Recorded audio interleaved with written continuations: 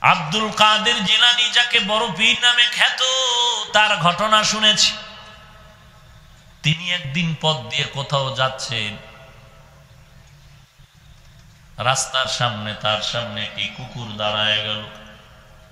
কুকুর দাঁড়ায় বলে, ও পীর, তুমি আমার একটা প্রশ্নের জবাব দিয়ে যাও। কি প্রশ্ন? বলে, তুমি ভালো নাকি আমি কুকুর ভালো? জবাবটা দিয়ে যাও। আব্দুল কাদের জিলানি রহমাতুল্লাহ চিন্তায় পড়ে গেলেন, যদি বলি আমি ভালো, তো অহংকার এসে যাবে, গরম ভাব হারাম।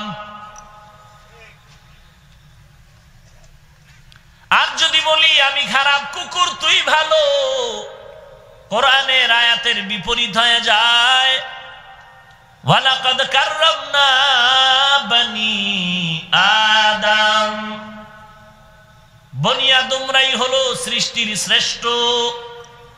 তাহলে আমাকে খারাপ বলাও যায় না, ভালো বলতে পারি না। কি জবাব দিব? আল্লাহ তার খাস বান্দাদেরকে স্পেশাল কিছু পাওয়ার দান করেন। গরম ভাব দেখায় না মুমিন। মিনহা খলাকনাকুম। মাটির মানুষ মাটির মতো নরম হয়ে যাও। গরম কেন হয় বলে? রক্তের গরমে গরম। টাকার গরমে গরম, ক্ষমতার গরমে গরম।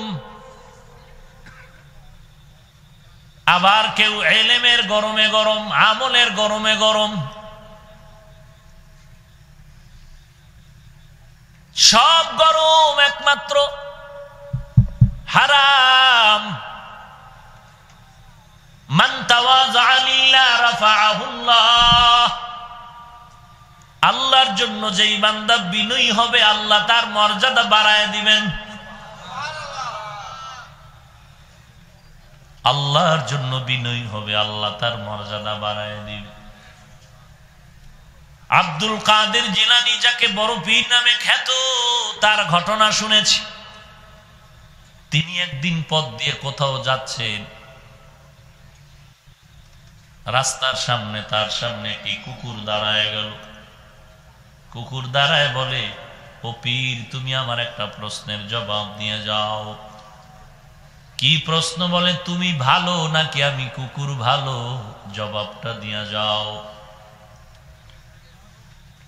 আব্দুল কাদের জিলানি রহমাতুল্লাহ চিন্তায় পড়ে গেলেন, যদি বলি আমি ভালো, তো অহংকার এসে যাবে, গরম ভাব হারাম।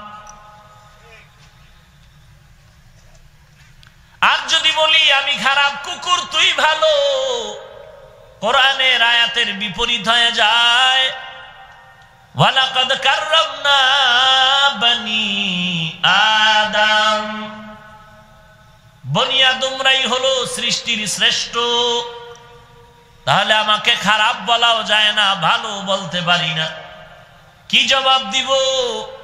আল্লাহ তাআলা তার খাস বান্দাদেরকে স্পেশাল কিছু পাওয়ার দান করেন রশিদ আহমদ গঙ্গুহি রহমতুল্লাহ আলাই ভারতের সন্তান। এত বড় আলেম ফকিহুল উম্মা, বাইশ বছর পরে একবার তার তাকবীরে উলা ছুটে গেল। এমন কাদাই তিনি কাঁদলেন, সন্তান ইন্তেকাল এত কাদা কাঁদেননি। এরে নবীর উম্মতের দল। আজকে আজান হচ্ছে ফজরের আজান, জহুরের আজানটা সমাজের আওয়াজে অনেকটা শোনা যায় না। ফজরের আজান সবার কানে কানে আওয়াজ, নীরব, নিস্তব্ধতার ভেতর দিয়ে কানের মধ্যে আওয়াজ। মুয়াজ্জিন বলে, আসসালাতু খায়রুম মিনান নাওম। ঘুমের চেয়ে নামাজ ভালো। আর তুমি ঘুমাইও না ঠিক মতো পড়িলে নামাজ জান্নাত, তোমার ঠিকানা।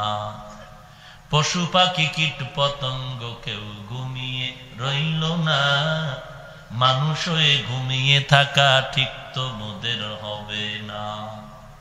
আহাতে মন কঠিন দিনেতে আল্লাহ কিন্তু ছাড়বে না। ঠিক মতো পড়িলে নামাজ জান্নাত তোমার ঠিকানা। আমার প্রাণের ভাই বোনেরা জলদি করে উঠে যাও, অজু করে তাড়াতাড়ি নামাজ পড়তে লেগে যাও। আহা নবী, বেনামাজির সাফাআত করিবেন না। ঠিক মতো পড়িনে নামাজ জান্নাত তোমার ঠিকানা। নামাজ। খবর নাই রে যুবক, অথচ ডাকা ডানে বামে তাকায় দেখ, তোর মতো যুবক স্কুল, কলেজে লেখাপড়া করে এরপরও পাঁচ অক্ত নামাজ ছাড়ে না।